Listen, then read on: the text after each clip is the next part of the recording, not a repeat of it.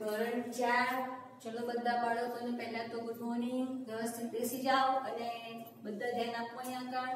આપણે ગણિતની અંદર સ્વાધ્યાય ત્રણ, ભોપાલનો પ્રવાસ, આગળ દાખલા ગણ્યા, હવે એના પછીના દાખલા ગણીએ. તો બધા અહીંયા ધ્યાન આપો પહેલા કે બધા દસ વાગે પાલનપુરમાં પહોંચ્યા. આપણે ક્યાં જવાનું હતું? ભોપાલનો પ્રવાસ હતો. પણ આપણે ક્યાં આગળના દાખલા આગળના ગણ્યા હતા બધાને ખ્યાલ છે ને? તો હવે રકમમાં શું કહે છે કે કલ સાથે પાલનપુર પહોંચ્યા, ત્યાં સો વર્ષ જૂના એક મહેલમાં ગયા. તો ત્યાં શું હતું? તો તેમાં અડતાલીસ ગાયો હતી, બાસઠ ભેંસ હતી, તોતેર હરણા હતા અને નવ વાઘના ભીત ચિત્રો દોરેલા હતા. ભીત ચિત્રો એટલે કે તમે જુઓ તો કોઈ પણ મહેલની અંદર કોઈ પણ મ્યુઝિયમમાં જાઓ તમે તો ઘણી વખત ભીત ઉપર અમુક વસ્તુ ચોંટાડેલી હોય છે, એના વિશેની માહિતી લખેલી હોય છે, જે તમે વાંચો તો તમને સમજ પડે કે શું કહેવા માંગે છે. વર્ષો જૂની વસ્તુ હોય તો એનો તમને આઈડિયા આવે કે તે વસ્તુ જૂના જમાનામાં શું હતું કે એના વિશે તમને અહીંયા આગળ આપ્યું છે કે મહેલ હતો. મહેલની અંદર સો વર્ષ જૂનો હતો. એની અંદર શું શું હતું? તો તમને આટલી વસ્તુ આપી કે અડતાલીસ ગાય બાસઠ ભેંસ હરણા, વાઘ એના ચિત્રો દોરેલા હતા. તો પહેલો પ્રશ્ન પૂછ્યું છે, તમને કે કુલ થઈને ત્યાં કેટલા પ્રાણીઓના ભીત ચિત્રો હતા? તો તમને સવાલ પૂછ્યો કે કુલ ચિત્રો, તો કુલ પૂછ્યું હોય તો શું આવે? સરવાળો આવે, બાદબાકી આવે? તો દરેક બાળકને ખબર હશે કે કુલ લખેલું હોય આમાં. તો કુલમાં શું આવે? તો કે સરવાળો. તો આપણે અહીંયા સરવાળો કરો. કે અડતાલીસ ગાય વત્તા બાસઠ ભેંસ તોતેર હરણા અને નવ શું છે વાઘના ચિત્ર છે કુલ થઈને ત્યાં કેટલા પ્રાણીઓના ભીત ચિત્રો હતા તો એનો સરવાળો કરો આઠની અંદર બે ઉમેરો તો કેટલા થશે આઠ ને બે દસ દસ ને ત્રણ તેર તેરની અંદર નવ ઉમેરો કેટલા થશે ગણો ચૌદ, પંદર, સોળ, સત્તર, અઢાર, ઓગણીસ, વીસ, એકવીસ ને બાવીસ નો પકડો વધી પડી બે, ચાર ને બે, છ છ ને છ, બાર બાર ને સાત, ઓગણીસ. કુલ કેટલા ચિત્ર હતા? એકસો ને બાણું. જવાબમાં શું લખવાનું આપણે? એકસો ને બાણું પ્રાણીઓના ભીત ચિત્ર બોલો ભીત ચિત્ર હતા સમજણ પડી બધાને કુલ પૂછ્યું એટલે શું કરવાનું સરવાળો કરવાનો હવે બીજું તમને એમાં જ બીજું પૂછ્યું છે કે શું પ્રાણીઓની સંખ્યા બસો થી વધારે હતી કે ઓછી હવે આપણી પાસે કેટલા ચિત્ર હતા એકસો ને બાણું અને કેટલા પૂછ્યા છે તમને બસો તો બસો થી વધારે હતા કે ઓછા હતા? તો કે ઓછા. તો કેટલા ઓછા હતા? તો શું કરવું પડે ઓછા? આવે તો બાદ બાકી તો બસો માંથી એકસો ને બાણું આપણે બાદ કરવા પડે. તો બાદ બાકી કરો. જીરો માંથી બે જાય ના જાય? તો શું લેવું પડે? દસકો. આ દસકો ક્યાંથી આવ્યો? બાજુની સંખ્યાનો. બાજુની સંખ્યામાં શું છે? જીરો છે. તો એની સંખ્યા આગળ જશે તો બે ઉપરથી દસકો લેવો પડે. બે ઉપર શું આવે? એક. અને વચ્ચે જીરો છે, તો હવે એની ઉપર શું મૂકવું પડશે? નવ મૂકવા પડશે. હવે 10 માંથી બે જાય તો વાત કરો. કેટલા આવશે? આઠ. નવમાંથી નવ જાય તો જીરો એક માંથી એક જાય તો જીરો. જવાબ શું આવ્યો આપણી પાસે? કે કુલ આઠ પ્રાણીઓની સંખ્યા ઓછી હતી આઠ પ્રાણીઓની સંખ્યા કેવી છે? વધારે કે ઓછી? ઓછી.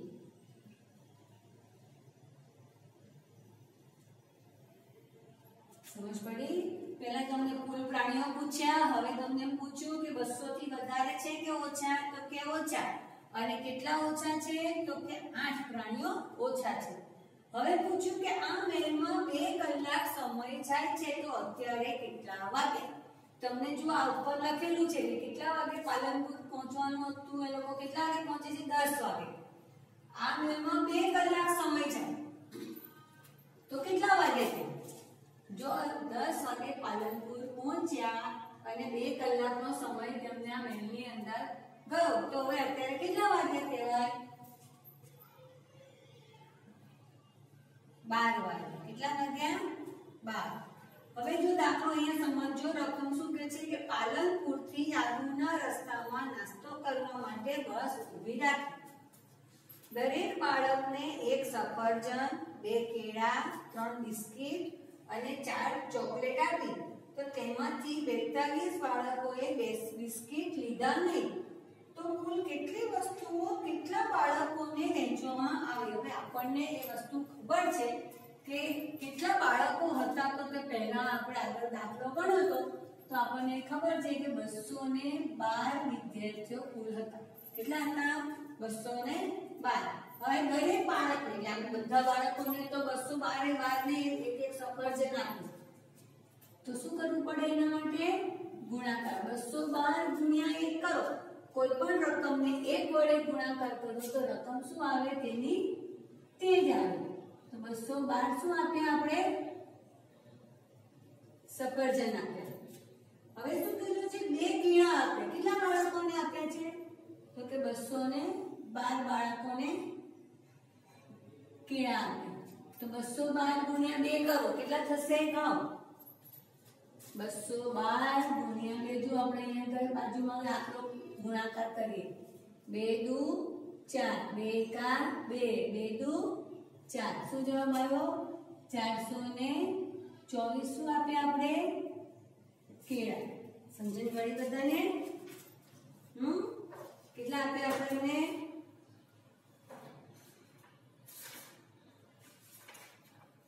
બસો ને બાર ગુણ્યા કેટલા કર્યા બે હવે શું કીધું છે કે ત્રણ બિસ્કિટ અને ચાર ચોકલેટ આપી જો પહેલા આપણે ચાર ચોકલેટ વાળું ગણી નાખીએ બસો ને બાર ગુણ્યા ચાર. તો ગણો. કેટલા થશે? બસો બાર ગુણ્યા ચાર? ચાર દુ આઠ. ચાર એકા ચાર અને ચાર દુ આઠ. આઠસો ને અડતાલીસ શું આપ્યું આપણે એમને. ચોકલેટ આપ્યું. હવે તમને બિસ્કિટ માટે શું કહેવામાં આવ્યું છે? જુઓ. કે ત્રણ બિસ્કિટ આપ્યા છે, પણ એમાંથી તેતાલીસ બાળકોએ બિસ્કિટ લીધા નથી. હવે આપણે બસો ને બાર વિદ્યાર્થીમાંથી ને બેતાલીસ બાળકોએ લીધા નથી. તો કુલ કેટલા બાળકોએ લીધા? તો આપણે એના માટે શું કરવું પડે? તો કે એના માટે આપણે એમને બાદ બાકી કરવી પડે. તો કે બેતાલીસ બાળકોએ નથી લીધા. તો બાદ કરવા એમાંથી કેટલા બાળકોએ લીધા? તો પછી બિસ્કિટ. તો કે બે માંથી બે જાય તો જીરો એક માંથી ચાર જશે નહીં જાય. તો એને પણ દસકો મૂકો. ક્યાંથી લેવાનો? બે ઉપરથી. હવે અગિયારમાંથી ચાર બાદ કરો. કરો? પાંચ, અગિયાર ગણો. અગિયારમાંથી ચાર કાપો. એક, બે, ત્રણ, ચાર, પાંચ, છ, સાત, આઠ, નવ, દસ ને અગિયાર. અગિયારમાંથી ચાર કાપો તો એક, બે, ત્રણ ને ચાર. કેટલા પચાસ સાત. અને એક નો એક. તો કુલ કેટલા બાળકોએ લીધા? એકસો ને સિત્તેર બાળકોએ બિસ્કિટ લીધા. કેટલા કેટલા આપ્યા આપણે? ત્રણ ત્રણ આપ્યા. તો હવે એનો આપણે ગુણાકાર કરીએ તો જ ખબર પડે ના પડે કે એકસો ને સિત્તેર ગુણ્યા ત્રણ. ત્રણ ને જીરો વડે ગુણાકાર કરો તો જીરો આવે ત્રણ સીતા એકવીસ નો એકડો વધી પડી બે. ત્રણ એકા ત્રણ ને બે પાંચ. કેટલો આવ્યો? પાંચસો ને દસ. આ શું હતું? બિસ્કીટ. ખબર પડી આપણને કે કુલ કેટલી વસ્તુઓ આપણે કેટલા બાળકોને વેચવામાં આવી? તો કે બસો બાર સફરજન, ચારસો ને ચોવીસ કેળા, આઠસો અડતાલીસ ચોકલેટ અને એકસો ને સિત્તેર બાળકોને ત્રણ બિસ્કિટ લેખે પાંચસો ને દસ બિસ્કિટ આપ્યા આપણે કેમ કે અહીંયા આપણને કીધું છે કે બેતાલીસ બાળકોએ બિસ્કિટ લીધા નથી બેતાલીસ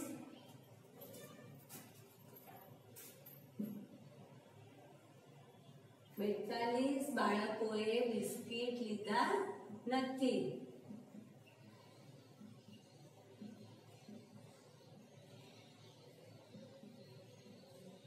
એટલે જવાબ એકસો ને સિત્તેર કેવી રીતે આવ્યો? તો કે બસો ને બાર ઓછા બેતાલીસ બરાબર એકસો ને સિત્તેર. આ તમારે ધ્યાન રાખવા માટે એકસો ને સિત્તેર કેવી રીતે આવ્યો? હવે ખબર પડી બધાને? હા. ચલો. હવે આગળનો દાખલો સમજીએ કે નાસ્તો કરતા બાળકોએ એકબીજાને ગણિતના કોયડાઓ પૂછવાનું ચાલુ કર્યું. રમત કરતા કરતા એ લોકો પહોંચે છે પ્ર- પ્રવાસ જઈએ, તો કે શાંતિથી તો બેસાય નહીં, તોફાન મસ્તી કરવા પડે. પણ એ તો કરવાના પણ સાથે સાથે આ લોકોએ શું કર્યું? કે એકબીજાને ગણિતના કોયડાઓ પૂછે છે. શું પૂછ્યું પહેલો? કે મેં પાંચ પાંચ ચોકલેટ છ મિત્રોને વેચી. તો પણ મારી પાસે ત્રણ વધી તો મારી પાસે કુલ કેટલી ચોકલેટ હતી? જુઓ, હવે તમે તમારી રીતે સમજો તો તમને. કે પાંચ ચોકલેટ કેટલા બાળકોને વેચી છે? છ. તો પાંચ ચોકલેટ આપણે વેચીએ તો આપણી પાસે કુલ કેટલી હોવી જોઈએ? જો પાંચ, છ, કેટલા થાય? ત્રીસ. ત્રીસ ચોકલેટ તો આપણે વેચી દીધી. બરાબર? પછી શું કહે છે કે તો પણ મારી પાસે ત્રણ વધી. બધા આપણે છ બાળકોને ચોકલેટ પાંચ પાંચ આપી. તો પણ જો આપણી પાસે ત્રણ વધી હોય તો આપણી પાસે કુલ કેટલી ચોકલેટ હશે? તો કે 33 ચોકલેટ હતી. ખબર પડી? 33 ચોકલેટ હોય તો જ આપણે પાંચ ચોકલેટ છ બાળકોને વેચીએ તો 30 થઈ 30 વેચાઈ ગઈ, છતાં પણ ત્રણ વધી. તો કુલ કેટલી બચી? 33 હોય તો 30 વેચી અને ત્રણ વધી. હવે બે, છ અને નવ અંકોથી ત્રણ અંકની કેટલી સંખ્યા બનાવી શકાય? તેમાંથી સૌથી નાની અને સૌથી મોટી સંખ્યા કઈ છે? જો, હવે આપણે પહેલા એક સીધી રકમ લખો તો કે આ ત્રણે આંકડા ભેગા કરી નાખો તો બસો ને ઓગણસિત્તેર થઈ ગઈ. બે વડે પહેલા રકમ બનાવો. હવે બે પહેલા એ ગયા હવે છ ને પહેલા લખો. તો શું થશે? જો, બે, છ ને નવ. હવે ફરી વખત બે લખો. નવ અને છ. બે વડે લખાઈ ગયું. હવે છ વડે બનાવો તમે તો કે છ ને પહેલા લખો, બે પછી લખો અને નવ પછી લખો. હવે છ લખો, નવ લખો ને બે લખો. બરોબર? હવે નવ વડે બનાવો તો નવ, છ ને બે. પછી નવ, બે અને છ. હવે તમે જુઓ, આની અંદર કેટલા અંકની, ત્રણ અંકની કેટલી સંખ્યાઓ બની? બોલો.